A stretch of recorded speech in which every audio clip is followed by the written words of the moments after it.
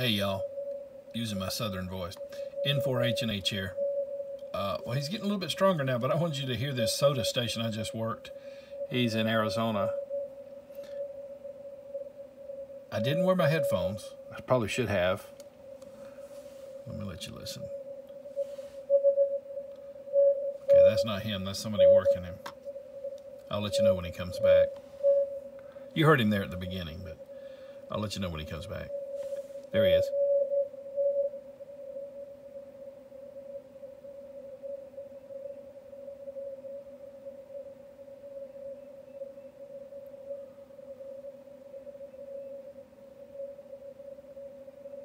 I gave him a 319. I mean, once in a while he would come up to maybe a 419, but QSB was really, really bad. Tried multiple antennas. There's my off-center fed dipole. Cushcraft R5 vertical. ZS6 BKW.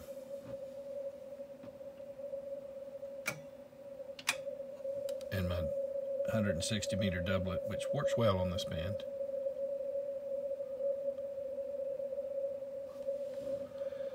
DSP settings, I'll show you where I am there. Uh, got the plus 10 with the APF with 100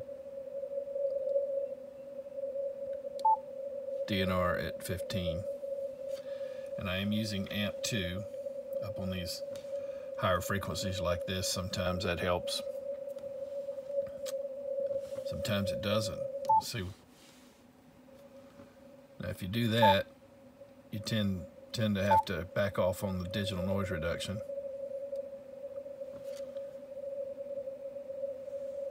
He just doesn't have much signal to work with. Let me get back over on the antenna I worked him on. That's a ZS6BKW by uh, NI4L.com, November India 4 Lima.com. You can build it yourself, but I got too much else going on. I just went ahead and bought his and priced it out. Just about can't build one that cheap. Seriously, it's a ghost station.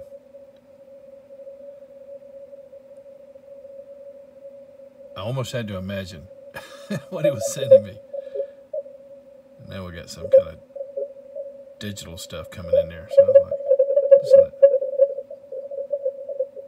Wow. Let's see what that is.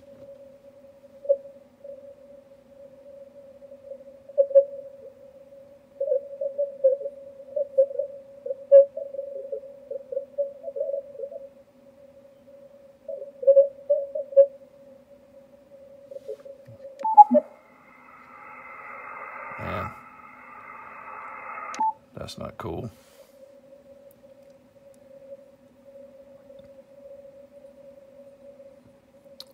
Okay, he just signed out. Well, hopefully you got the gist of that, uh, especially at the beginning when you could hear him, just extreme low signal. And I just got to tell you, if I had not enabled these this DSP like I did, now granted I had amp 2 on, right? Digital noise reduction was at 15, had the width at 100, and I slid the APF up 10 hertz. A lot of times I like to leave that zeroed and then I'll, I'll I would move my VFO up 10 hertz, see? Either way, um, honestly, sometimes I'll do one or the other and see which pitch comes through, you know, from the noise floor the, the best. That's really how I do that. Uh, but I do tend, if you've watched my other videos, you know I tend to leave it at zero and adjust it on the VFO uh, you know, try to somewhat zero beat them, you know, as as it were. That's what uh, some people people call it, you know, just try to get right on them. Because the APF just lets you slide on the receive side, and essentially what you're doing is you're looking for them based on pitch. But uh, so I went up at plus 10. Now, had I not had all that turned on, this is what it would have been like.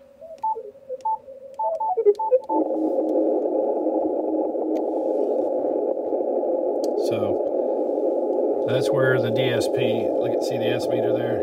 So now I'm gonna turn it all back on. Digital noise reduction, width at 100, APF.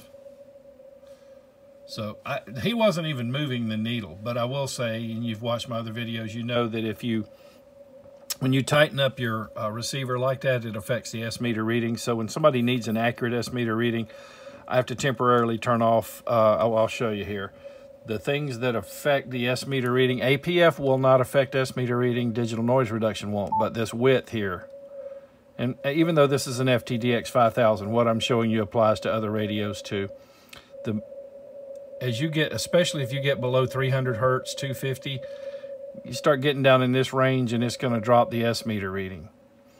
Um, and that's okay. I go for signal to noise ratio, but if somebody needs an accurate signal reading, you know, I'll, I will, uh, you know, turn that off temporarily and give it to them. The other thing that can affect it is notch. And if you've watched my other videos, you know that that I will sometimes use the notch if I'm getting a lot of that ring, ripple it's called, from the filter. So you can watch my other videos and get more detail about that. But So I'm using the manual notch there to knock some of that ringing out. That is called ripple.